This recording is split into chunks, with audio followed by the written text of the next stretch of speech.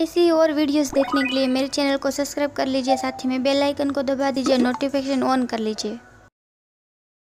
तो आज हम बनाएँगे आलू की पूड़ी और आलू की पूड़ी बनाने के लिए मैंने यहाँ पे दो आलू लिए हैं। मैंने उसको उबाल लिए हैं और उसको छील भी लिया है अच्छे से और यहाँ पे मैंने ऑयल लिया है और धनिया पत्ता लिया है। देखिए, मैंने यहाँ पे पत्ता ही लिया है डलठल नहीं लिया है और यहाँ पे मैंने थोड़ा सा चिल फ्लेक्स लिया है। आप चाहो तो लाल मिर्च पाउडर भी ले सकते हो और यहाँ पे मैंने नमक लिया है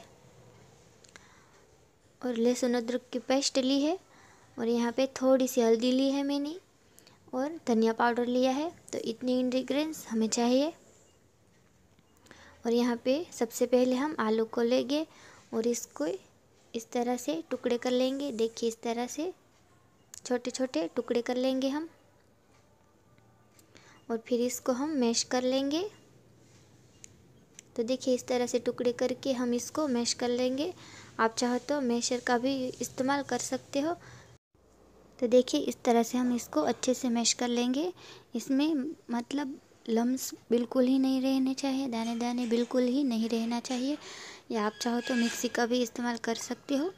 तो मैं यहाँ पे हाथों से ही इसकी पेस्ट बना दी है मैंने। तो इसी तरह से हमें आलू को देखिए, इस तरह से मैश कर लेना है। तो अभी हम इसमें नमक डालेंगे, स्वाद अनुसार धनिया पाउडर डाल देंगे। और यहाँ पे मैंने थोड़ी सी हल्दी ली है, वो भी डाल देंगे। और अदरक, लहसुन की पेस्ट डाल देंगे। आप चाहो तो एक हरी मिर्च भी आप इसमें पीस के डाल सकते हो, जो कि मैंने नहीं ली है। और इसमें हम चिली फ्लेक्स डाल देंगे। आप चाहो तो लाल मिर्च पाउडर भी यूज़ कर सकते हो।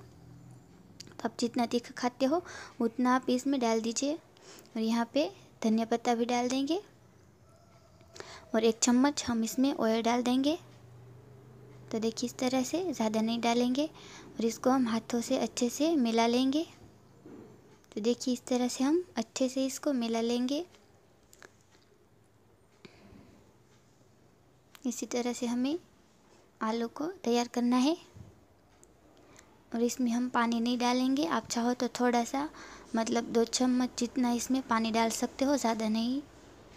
तो मैंने यहाँ पे थोड़ा सा भी पानी नहीं लिया है। तो इसी तरह से हमें इसको, आलू को तैयार करना है। देखिए इस तरह से।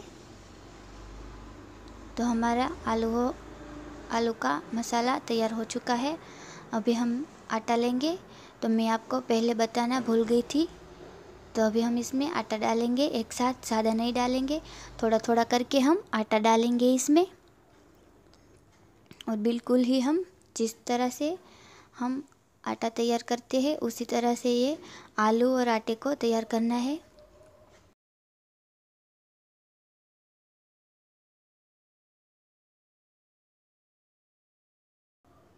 बिल्कुल ही जैसे हम आटा गूंदते हैं, उसी तरह से हमें इसको गूंद के तैयार करना है।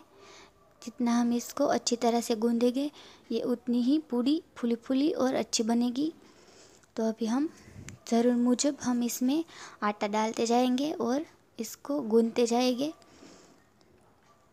बिल्कुल ही हमें आटा, जैसे हम रोटी बनाने के लिए आटा लगाते हैं, उसी तरह से हमें इसको तैयार करना है। और यहाँ पे हम पानी नहीं डालेंगे।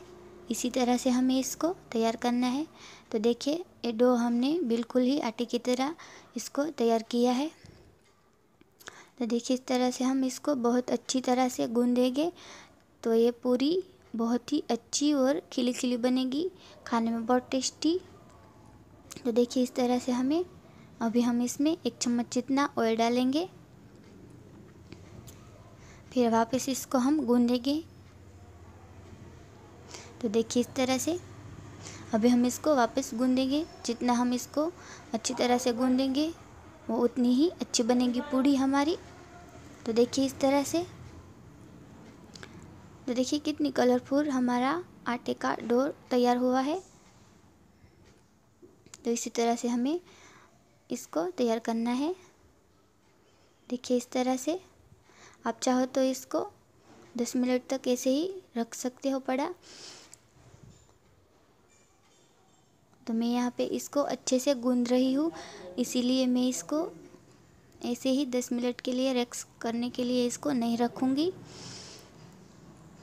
तो देखिए इस तरह से हम इसकी छोटी छोटी लोइया मतलब जितनी हमें बड़ी पूड़ी बनानी है, उतनी हम इसकी लोइया तैयार करेंगे।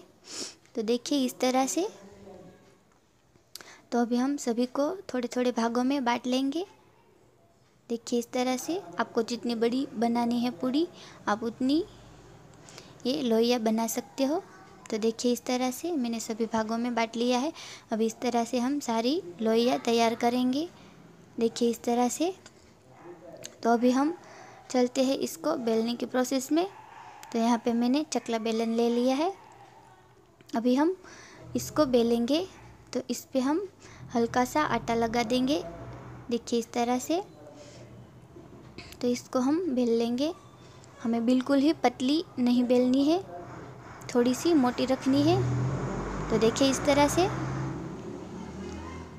बिल्कुल ही हम पतली बेलेंगे तो बहुत कम इसके फूलने के चांसेस रहेंगे।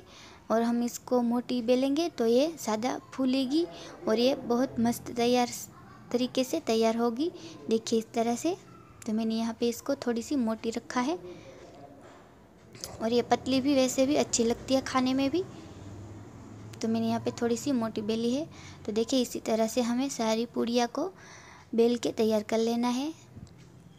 तो मैंने ऑयल गर्म होने के लिए रख दिया था। तो हमारा ऑयल जो है वो गर्म हो चुका है।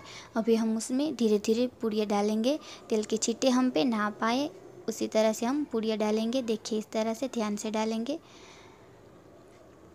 तो देखिए, इस तरह से तो देखिए, हम इसको फ्राई कर लेंगे। और ये इसका टेस्ट बिल्कुल ही पराठा जैसा ही आएगा। जैसे हम चिप्स खा रहे हैं, ऐसा ही इसका टेस्ट लगेगा। तो देखिए, ये हमारी पूड़ी जो है वो कितनी फूल के अच्छी तरह से तैयार हो चुकी है। अभी हम इसको पलट देंगे। और ये खाने में बहुत टेस्टी होती है। इसे बनाना बहुत ही आसान है। आप इसे ज़रूर ट्राई कीजिएगा। तो इस तरह से हम उसके ऊपर भी तेल डालेंगे, ताकि ये अच्छे से फूल के तैयार हो। तो देखिए, इस तरह से हम इसको वापस पलट देंगे। तो देखिए, इस तरह से। तो देखिए कितनी कलरफुल और अच्छी बन के तैयार हुई है हमारी पूड़ी, और ये बच्चों को बहुत ही पसंद आएगी। तो आप सुबह सुबह इसको बना सकते हो नाश्ते में। देखिए इस तरह से। अगर आपको मेरा वीडियो अच्छा लगा है तो प्लीज़ वीडियो को लाइक कर दीजिए, कर दीजिएगा। और अभी तक आपने मेरे चैनल को सब्सक्राइब नहीं किया है तो प्लीज़ वीडियो के नीचे जाके लाल रंग के बटन को दबाकर मेरे चैनल को सब्सक्राइब कर लीजिए।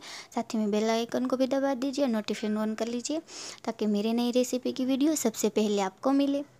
तो देखिए हमारी पूड़ी जो है वो बिल्कुल ही बन चुकी है। इसी तरह से हमें सारी पूड़िया को फ्राई करनी है। तो मैं आपको ये देखिए, तोड़ के दिखाती हूँ। देखिए, ये कितनी अच्छी बनी है। खाने में भी बहुत टेस्टी है और ये कितनी कलरफुल बन के तैयार हुई है।